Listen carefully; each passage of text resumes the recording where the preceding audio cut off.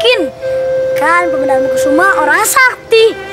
Iya benar, aku juga berharap dengan diangkatnya Paman Dharma Kusuma menjadi senopati baru, Pajajaran akan bertambah kuat lagi. Iya, semua orang bahas begitu, Con. Kita sama-sama makan saja ya. Eh, iya, iya, iya.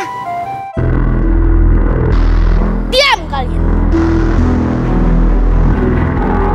Lazim, Lazim. Dia pasti bikin celaka lagi, teman-teman. Ayo kita kabur. Iya, iya, iya. Ha, ha, ha, ha. Mau ke mana kalian? Percuma kalian pada lari. Aku akan mengejar kalian. Ha, ha, ha, ha, ha. Teman, gimana ini? Kita, udah belakang. Ah, wah, Hebat kamu, Chan. Hebat kamu, Chan. Ayo kabur. Iya. Ayo.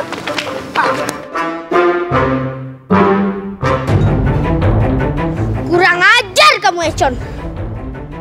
Awas kamu.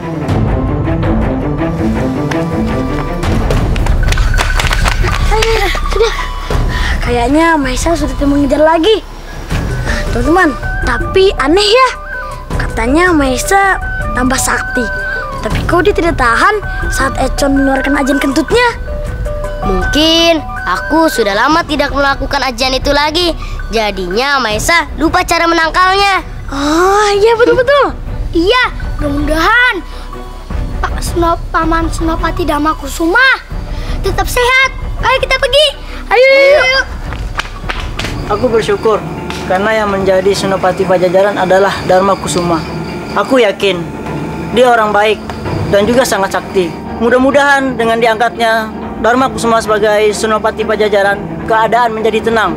Ya, aku harap juga begitu. Ini benar-benar berita penting. Saya harus segera melaporkannya kepada Nyi Sekarwang. Ayo Kang, kita ke sawah. Ayo.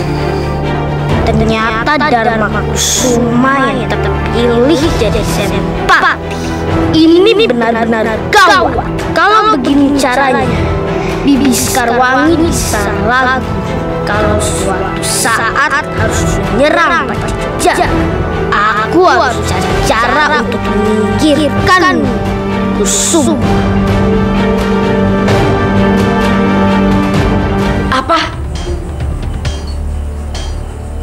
Dharma Kusuma diangkat menjadi Senopati Pajajaran.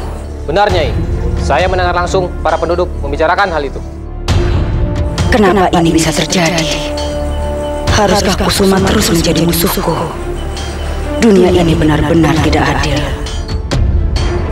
Prajurit, sekarang kamu boleh pergi.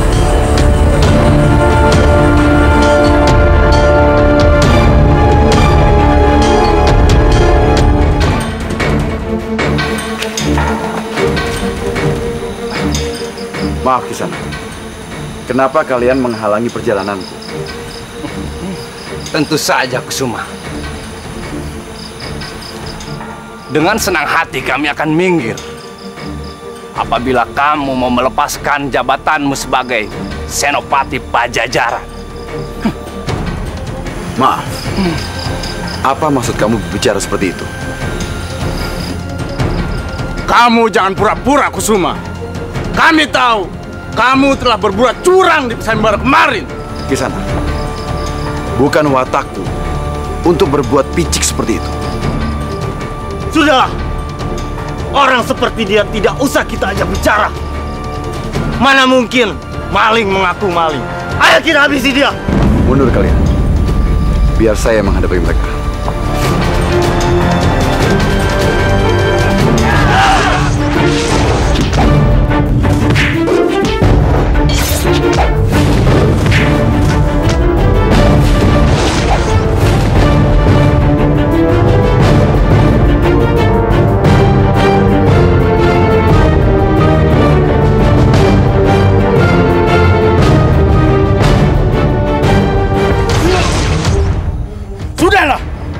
Kamu menyerah Kusuma dan melepaskan jabatanmu sebagai senopati.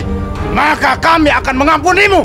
Aku lebih baik mati daripada harus menyerah sama kalian. Dasar keras kepala. Baiklah. Ayo, habisi dia.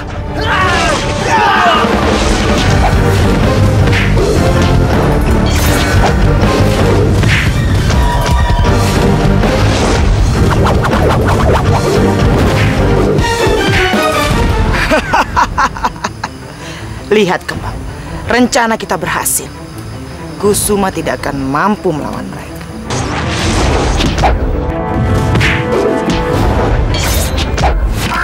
Aku berharap dia mati di pertarungan itu.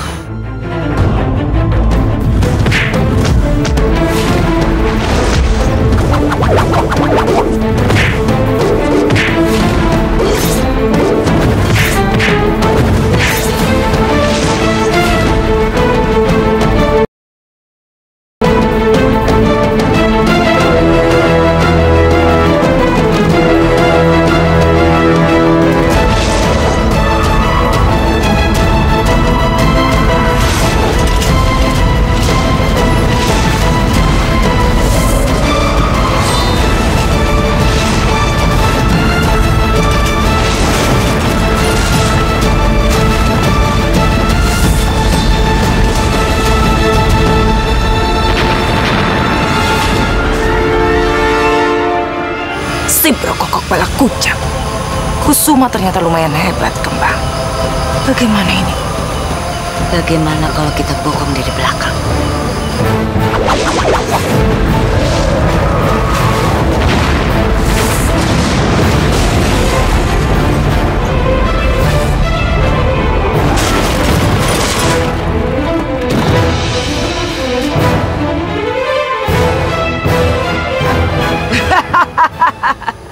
Kita berhasil kembang. Ayo kita pergi. Kita beritakan kabar baik ini kepada Argadana.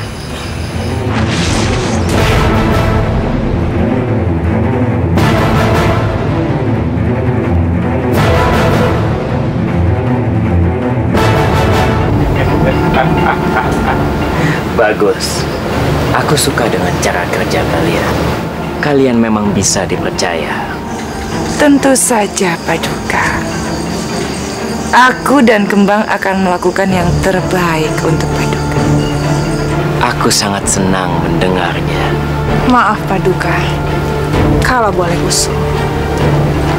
Mumpung keberadaan Kusuma belum diketahui oleh Prabu Siliwangi dan para tokoh lainnya, lebih baik kita ke sana untuk memastikannya. Baiklah. Aku setuju.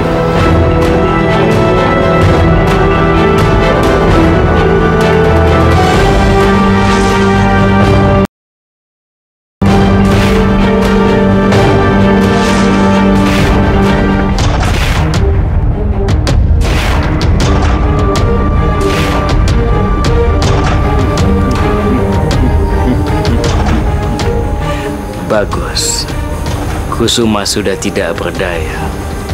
Belum tentu, Paduka. Saat ini kita masih belum tahu keadaan Kusuma yang sebenarnya. Apakah sudah benar-benar mati atau jangan-jangan malah masih hidup?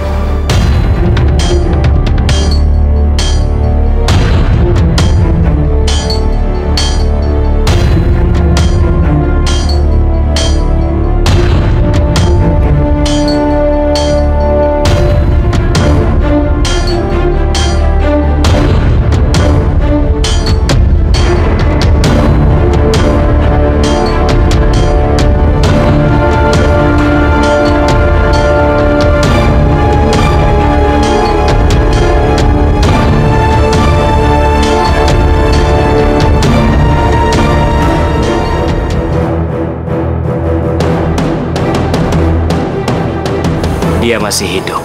Kalian bunuhlah dia. Lalu kirimkan mayatnya ke istana Pajajaran. Aku ingin Siliwangi tahu bahwa tidak ada senopati sehebat dan sebaik aku.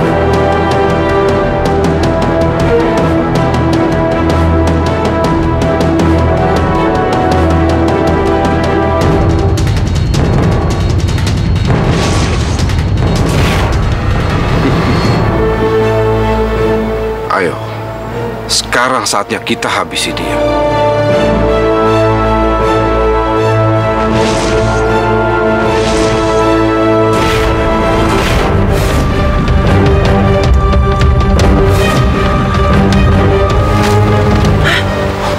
Sial. Siapa yang sudah berani mencampuri urusan kita? Oh, iya,